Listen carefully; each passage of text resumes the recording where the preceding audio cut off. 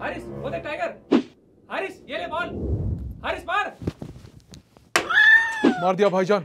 हाय, मैं हूँ बादशाह, आप देख रहे हैं अनकट, और आज पाकिस्तान बनाम बांग्लादेश में टाइगर्स का तो शिकार हो गया। सो, टॉस जीतकर सबसे पहले बल्लेबाजी करने का फैसला लिया शाकिब अल हसन ने, और बैटिंग करने उतरे बांग्लादेश की तरफ़ से नईम और हसन। पहला ओवर शाहिन शाह अफरीदी, भाई किसी तरीके से बच बच के डर डर के, डिफेंड कर करके निकाल दिया। एक भी रन नहीं। लेकिन दूसरे ओवर की पहली गेंद पर ही नसीम शाह ने विकेट ले लिया मिराज का और ज़ीरो पे उन्हें घर भेज दिया। फिर आए लिटोन दास, जो वैसे ही शांतों की जगह खेल रहे थे, प्रेशर उन पे बहुत था कि भाई आज परफॉर्म करना है, लेकिन करते करते रह गए। एक दो अच्छे अच्छे चौके मारे उन्होंने, लेकिन 16 रन की छोटी सी पारी बनाकर वो भी शाहीन शाह अफरीदी की गेंद पर निकल लिए। उसके बाद हारिस भाई की गेंद पर हारिस भाई को ही कैच थमा बैठे नईम, और वो भी चल दिए 20 रन पे। कप्तान शकीबुल हसन ने बनाए 53 रन्स और मुशफिकुर रहीम ने बनाए 64 रन्स जिसकी मदद से बांग्लादेश ने खड़ा किया बहुत बड़ा नहीं, बल्कि एक छोटा सा score 193 runs for the loss of 10 wickets in 38.4 overs अब पाकिस्तान के सामने था 194 रन्स का लक्ष्य, लेकिन उस पर जाने से पहले बॉलिंग स्टैट्स देखते हैं। पाकिस्तान की तरफ़ से leading from the front once again Haris angry Rauf पता नहीं क्यों गुस्से में रहते हैं। हर मैच में ही तो अच्छा परफॉर्म कर रहे हैं। गुस्सा क्यों है? चार विकेट आज भी खा गए हारिस भाई। उनका साथ दिया नसीम शाह ने, जिन्होंने लिए तीन विकेट और शाहीन शाह अफरीदी, जिन्होंने लिया बस एक विकेट और भी एक एक विकेट बढ़ गए बाकियों में। ले देके स्टार परफॉर्मर तो हारिस भाई हैं। अब बारी आई पाकिस्तान की बैटिंग की। अपने गंदे फॉर्म को कंटिन्यू करते हुए फकर जमान यहाँ भी औंधे मुँह गिर गए। बीस रन बना के चल दिए।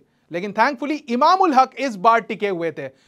कि भाईजान, आप जाएँ। आपने जाना है, आप जाएँ, मैं कहीं नहीं जाऊँगा, मैं तो मैच खत्म करके ही आऊँगा।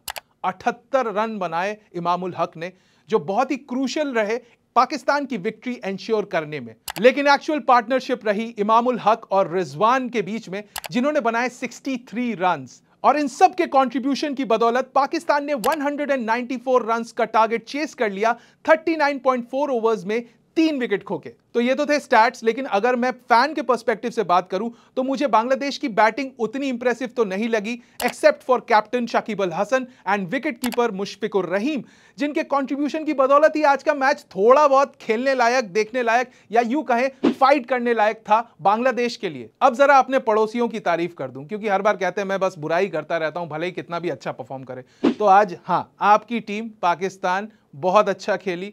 इनशाला boys played really well bowling बहुत अच्छी की है। बैटिंग में भी अगर फकर जमान को हटा दें साइड कर दें, क्योंकि उनका फॉर्म तो पता नहीं कभी आएगा। उसके अलावा इमामुल हक और रिजवान, इनकी बैटिंग ने बहुत ज़्यादा इंप्रेस किया है। काफ़ी इंपॉर्टेंट था इनका नॉक इनकी partnership for Pakistan to ensure victory and रही बात बाबर आज़म की तो। 10 सितंबर को देख लेते हैं। तो यह था सुपर फोर का पहला मुकाबला और अभी तो पार्टी शुरू हुई है बॉस अभी बहुत सारे मैचेस बाकी हैं। बांग्लादेश के लिए अभी भी टूर्नामेंट खत्म नहीं हुआ है। पाकिस्तान ने तो अच्छी शुरुआत कर ली है। लेकिन बांग्लादेश का अगला मुकाबला वो इंपॉर्टेंट है। वो है करो या मरो उसके लिए। क्योंकि मैच होगा बनाम श्रीलंका और खेला जाएगा ये नौ तारीख को।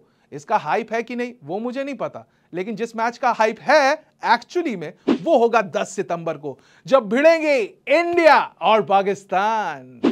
कैसे हैं जनाब? मेरे प्यारे प्यारे पड़ोसियों तो आपका इंतज़ार रहेगा कहाँ पर? अनकट पर।